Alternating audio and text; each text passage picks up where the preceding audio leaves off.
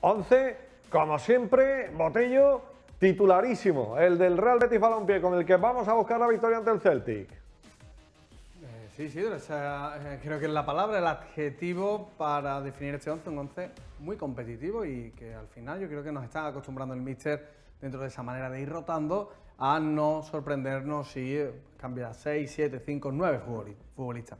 Bien, eh, vamos a verle la pizarra táctica. previamente quiero recordar cómo fue el partido de ida tuvieron muchísimo más el balón ellos. El Celtic prácticamente rozaba los picos de 60%. Por eso hoy se antoja fundamental ese rectángulo en el centro del campo.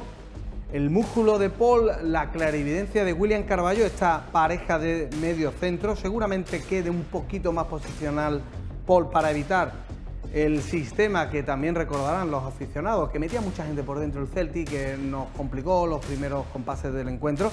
Para eso Paul va a corregir con una pareja de centrales como Pesela y Edgar y por delante eh, William. La idea de tener a William en ese rectángulo es que por ahí aparezcan de forma alternativa, sobre todo tanto Joaquín, que hoy hará ese rol de media punta, como Laines cuando abandone la banda y se meta por el carril central.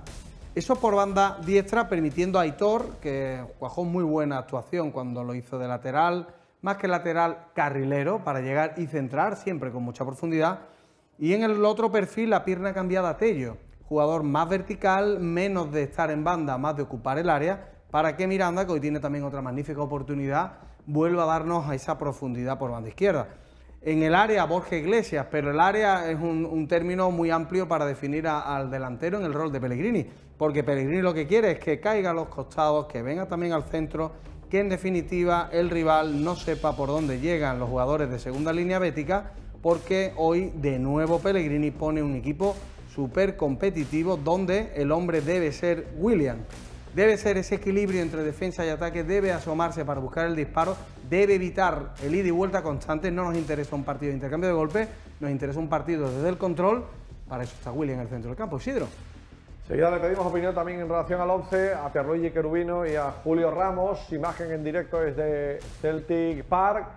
Juan, desplazamiento del eh, Real Betis Balompié, bueno, con un modus operandi que nos ha recordado al pasado más reciente. Estáis en burbuja. Sí, bueno, hemos vuelto a esos tiempos eh, no muy lejanos, ¿no? los que viajábamos en burbuja y bueno, la sensación de viajar con el equipo, solo con la plantilla, solo el staff y, luego bueno, pues llegar al hotel y apenas poderte mover de, lo que son. Te Botello, en relación a ese 11 del Celtic de Glasgow. Sí, un apunte porque, el, como bien dice eh, Juan, cambia prácticamente el equipo entero. Sí, tal vez la variante táctica en principio, veremos si es el 4-2-3-1 que nos eh, comentaba Juan Bust, en principio parece que sí, ese doble pivote con Sase y con eh, Lian, más o menos intentando tener ese equilibrio táctico, por delante media punta Soro, arriba Yeti, en futbolista de mucha movilidad, ya lo, vimos, lo sufrimos aquí en, casa, y luego me parece que va a ser un equipo también con Abada en la derecha y McCarthy en la, en la derecha, perdón, y Abada en la izquierda, que Aitor, y sobre todo Miranda deben ser muy profundos. Al final es un partido donde a priori hay muchos cambios, invita a la relajación.